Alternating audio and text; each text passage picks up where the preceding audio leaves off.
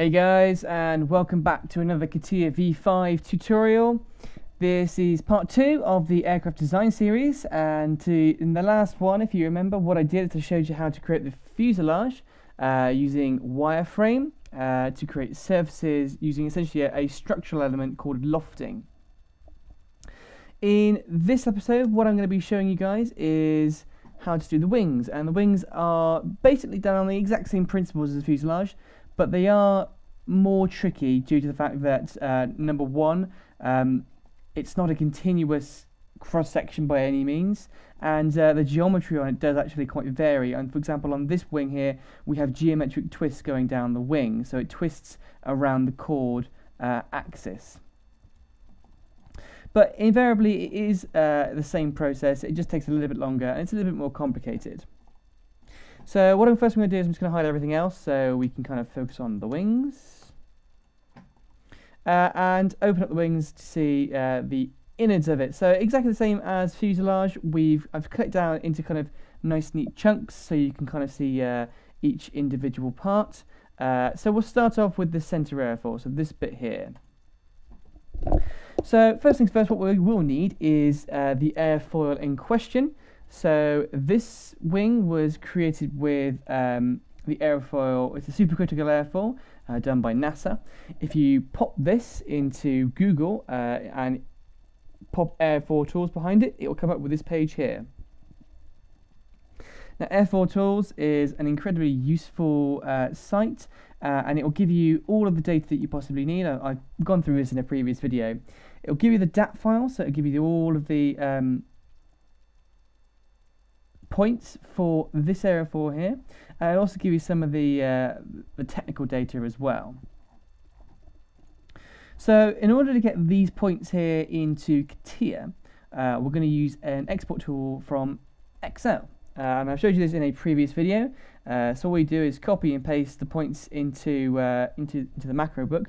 This one here is something that I've developed a bit further to allow us to be able to use um, basically put some modifiers in. So all we have here is an x, y and a z coordinate and these are the ones that are going to be transferred into CATIA. And these points are really just based on the coordinates from Airfoil Tools, from the DAT file, um, and modified by multiplying it up in certain locations from these modifiers. So for the root airfoil, uh, which is this one here, the right in the center, it's, it's the easiest one to do because we know what the chord is. It's uh, the same as the root airfoil from the specification, which is 7.6 meters. The span is zero because remember we're going to be putting it all in compared to this global axis system here. Um, the Z offset, now that's uh, where we're going to be going on, is, is a bit trickier because the Z offset in this case, we want uh, the bottom of the wing to be in line with the bottom of the fuselage. So we need to shift it down by at least half of this amount of the, the fuselage here, which was 2 meters, so it's an extra meter, but also then the thickness of the aerofoil itself. So the thickness of this particular aerofoil is 0.1. So what that, what that means is, is the thickness of the aerofoil at this position here, the thickest part, is 10% of the length. So if it's 10% of the length, uh, and it's 7,600 millimeters long, it's going to be 760 millimeters high. So half of the fuselage diameter coupled with the thickness of the, um, the aerofoil gives it to an offset of about 1800. Now that was kind of tweaked a little bit just to make sure it was nicely in line uh, with, with the fuselage here. Now the root, root apex distance, what that means is uh, this point here, this this this apex of the wing, uh, that's the distance from that point to this point here in along the x direction, and that basically just shifts the entire aerofoil to this location here, which is where we want it. Oh. The other parameters here, dihedral, sweep back angle, and the sweep kink span, uh, those are all kind of defunct in this particular position because we don't need them yet. They're all modifiers uh, which are dependent on span. So with those kind of modifiers in action, you can kind of see that that's how they are they're derived. The span will be zero, that's the y, uh, and this is the coordinate based on the, uh, the aerofoil coordinates. We click export, we use just one of the points, which is what I always use. Click OK, and what it starts to do is import it into CATIA. Okay, so those points have been put into CATIA, so as you can see, there they are. Uh, so they've landed exactly in the position we needed to. I'm just going to hide the fuselage quickly. So any eagle-eyed viewers will going on a minute, they don't look right at all. And you are you're correct actually. These these aren't in the correct position in terms of the relation to the wing. So uh, these are the ones we just came in, so I'm going to hide them. And I'll show you where the points were originally. So these are the original points. And you can see they're exactly the same. So they were then added to a spline. So a spline was created from those points. And like you said, you can see here, this particular spline doesn't conform to this surface here. So the reason for that is uh, the wings, when they are next to the fuselage, aren't flat. So this is a flat, completely flat airfoil. And it's not a flat airfoil in reality. It's actually got a setting angle. So there's actually an angle of attack. Um, so there's an, these are twisted compared to the fuselage of 3.1 degrees. It's actually a little bit less than that. After a bit of analysis, actually turned out to be a bit less. I think it's about 2.2 degrees or something like that. So it was actually rotated. So this is the rotated version of uh, of this spline here. So it's just this spline rotated, there you go, 2.18 degrees. And the way this was done is you just create an axis and a point, so an axis and an angle. The axis was created around the quarter chord position, so a quarter of the way between the front of the aerofoil and the back. So once that rotation had been created, as you can kind of see, what was then actually shown is that you can kind of see it's not even there quite yet. It's actually not as thick as we wanted it to be. Again, the reason for this is halfway through the design process, uh, it was just shown that this wasn't quite as thick as we wanted it to be, as in it's not as fat. So instead of kind of changing and going and importing, and finding a brand new aerofoil what we did is did an affinity. And what an affinity does is it quite it quite literally scales up in particular axes. So in this case, what we did is we scaled it up to 1.35 from the Z location, and that just kind of chunks it out. And this is given two reasons. Number one, uh, we want to have a nice lift uh, on the aircraft when it's taking off, but also we want it to be strong when it comes to the actual structure of the uh, of the wing, and being thicker will allow us to put a bit more structure in it. Now there is another operation which is the translate, and that was again done uh, after the affinity, and what it does is just shifts it up. Again, this was kind of done with a with a certain amount of kind of jiggery pokery, uh, and it just translated up something like yeah, 30 millimeters, not a huge amount. And what that meant is it didn't poke out of the fuselage. And that is how you make an aerofoil for the root. Now that's the simplest one you can get. Uh, in terms of the next one we're going to do, which is the root aerofoil. Now the root aerofoil is the one which is right at the end of the uh, the fuselage. It's the one that's it's the closest part to the fuselage, as you can kind of see here. Ooh. That's the root aerofoil. So the way you do it is exactly the same way as the center airfoil. The only difference in this case is the span. So the span will be the radius of the fuselage, in this case, which was 2050, I believe. Uh, let's just go to the yeah, check. 4.1, so yes, it'll be 2.05 meters.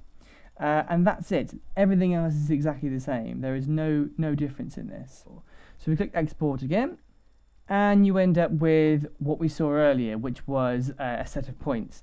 Now, the process of getting this into the same configuration as this is exactly the same. So we created the spline with the points. Uh, we then rotated it around the quarter chord position. We then created an affinity to beef it out a little bit.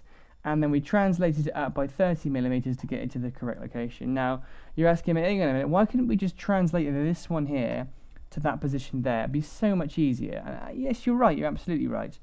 The only problem with that is, is that if at any point in the design process, I want to change this one, but not that one, or vice versa, then I've got to go and design the entire thing all over again. Designing two of the same type, although it takes a little bit longer at the beginning, and not that much longer as you already know how to do it, will save a vast amount of time when it comes to any decisions or differences you make later on in the process. So that's the root aerofoil. Now the next point, uh, the next two aerofoils, there's only three aerofoils that make up this wing. Uh, the next one here is the kink aerofoil, and this one is, is a little bit trickier. So the difficulty in the kink is not necessarily in the CAD bit, but it's more in just making sure that all of these values and the import are correct. Now the way you work all of this out is by some trigonometry. So um, the chord of the kink was calculated to be about 4.25 meters.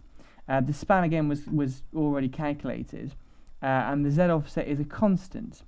Uh, along with all these other ones here, these are all constants, and the different difference being is that the x offset due to sweep is dependent on the span and it's dependent on the sweep back angle. So the sweep back angle again, which was defined by the specification, what it will do is if a bit of trigonometry will set it backwards and give you a new offset for that location. At the same time, you've also got dihedral. So dihedral was set as 5.6 degrees. Um, so that will move the aerofoil up in the z direction. So this again was dependent on the span and that dihedral angle, and that gives us the offset. Take that away from the other two constants, and that gives us a brand new offset of z. So these three values then can be plugged into the our x, y, and z coordinates. We click export, and out pops the points that we have. So these are the points for the kink. So they're in the correct position, well, sort of, as exactly the same as the root aerofoils. What we need to do is then, um, well, number one, create a spline. Uh, and then we create another point and in the center or the core position and rotate it. In this situation there, the amount we actually uh, rotate it is the other way round. And this is the reason for that because it's got, uh, in our specification, the wing distance is minus 3.5 degrees uh, geometrically linear, which means that it by the point it kind of uh, from here to here, uh, the difference if you measure the two uh, points will be minus 3.5 in difference. So the kink here, our angle is going to be minus 3.1.34. The reason it doesn't say minus here is because it's uh, depends on what CATIA thinks. Uh, and that is, honestly is is it. So with with the rotate done, the two splines done, we have our kink aerofoil. So that's the kink done. The final one to do then is the tip aerofoil, and using exactly the same uh, ideas as uh, the kink and the root, it's just by popping in uh, the rest of these dimensions here. So the chord will be uh, what it says on the specifications. The spans, the Z offsets, and everything else will all be done for us, and it's exactly the same as everything else. And we get that little tip right there. So uh, I'm just going to hide those two there. And those are our tips. So those are, that's all we need. It's four sections for our, our wing, and that is it. So from the aerofoil sections themselves, all we have to do then is create a set of guides. So the guides are pretty simple. Um, it's just three lines. So we've got the, the lines at the back, and one line at the front. The reason there's two lines at the back is if we zoom in on the aerofoil, you'll notice that this is this gap essentially, and we just need to join up the top and the bottom. So the two rear or trailing edge lines, all I've done is created two polylines to create those three points. For the leading edge, what I've done is I had to create three points for the forwardmost part of, of each of the aerofoils. Now because obviously aerofoils twist, this changes. So I had to create three new extremums, uh, or points via extremum, should I say. So it's just quite literally using each aerofoil, using the direction of x, and making it so that it's, it's the furthest forward position on that aerofoil. And using that, you can kind of see how the wing twists due to what that, that, that twist we put on it. So the, the change in the angle of attack of the wing due to that twist. And that's actually quite an important feature, especially uh, on modern aircraft. So with those three done, all was needed to do was create a spline from those three points, and there you have your wireframe. So from that wireframe there, all you need to do is create a. Uh, I created two actually. I created one multi-section surface for the center wing box, uh, and one for the outer. The reason being is that otherwise you get this kind of weird bend going on here, which you don't really want. And the second multi-section surface is exactly the same as what a fuselage was, using each of the profiles and then each of the guides that we created in order to make that surface. Now to make the other side, uh, which is commonly done in aerospace, all I did then was create a symmetry. So a symmetry of these two multi-section surfaces, uh, just to mirror it round to make two, because there's no point doing all of it, which mean, it also means that if any of the changes I make on any of these bits here will be reflected on this side here. So it's not an issue of oh, if I want to change that part of the wing, because I don't, I want both wings to be exactly the same. And that is really how you make the wings. So it's not as difficult as one might seem, but it still does take quite a considerable amount of care just to make sure that all of the actual parameters for that wing are the same. Now, I'm just going to get rid of uh, all of this. I do have wingtips on this, so the wingtips, which I again have done in a previous video and were made in exactly the same way, are just another set of um, of wireframe. Uh, the difference being is I've used a completely different aerofoil. The aerofoil in question is a NACA 0012, I believe. Uh, so, so this creates basically a symmetrical aerofoil. Uh, and in the same way of the, the video, which which I've shown you before, uh, it's just a simple matter of creating uh, several sections of these up the actual um, wingtip in order to create this uh, nice swept curve. So that's kind of the end of the video for the kind of the basics of the of making a wing. Now, in terms of melding or, or assembling this to the fuselage, generally in terms of a master's uh, or, or a master geometry file, you kind of leave it as this. You have a kind of it going through the model. Now, when you actually make uh, the wings structurally, generally what happens is you kind of have this part here and this part here of the of the airfoil, the root, is kind of reserved for the leading edge and the landing gear. So the only part that actually goes through the fuselage is the structural element. So what you need to do um, before you go ahead and, and understand how you assemble these together is it's more that's more down to the specific and detailed design of the structure of the wing, which I'm hoping to get into in a further video down the line, but it is quite complicated and takes quite a bit of preparation to do so. So I hope that's kind of giving a good detailed approach to how to make wings for uh, an aircraft. You should be able to use that to create any sort of wings that you need just by doing different sections um, at different points. The key, the key lies in making sure that you plan out in advance what you want it to look like. So if you have enjoyed this video, please do go ahead and give me a like. And if you'd like to even more than that, please do go ahead and subscribe. There should be more videos coming up in the future. If you have any questions or queries on what I've said today, or anything that's not quite clear, please do just drop me a comment in the bottom and I'll try and get back to you as soon as I can. If not, then thank you very much for watching and I hope to see you guys next time. Cheerio.